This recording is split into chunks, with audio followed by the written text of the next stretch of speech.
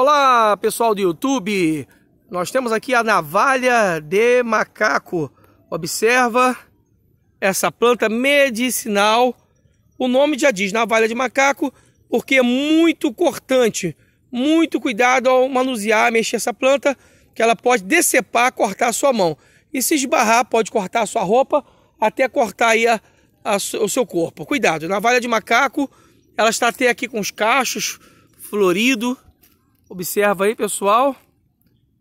Que coisa bonita, é bela, ornamental.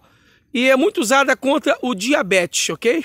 Você pode fazer 10, 15 gramas por litro d'água em infusão e tomar três vezes ao dia para combater o diabetes diurético e ajuda no emagrecimento, ok, pessoal?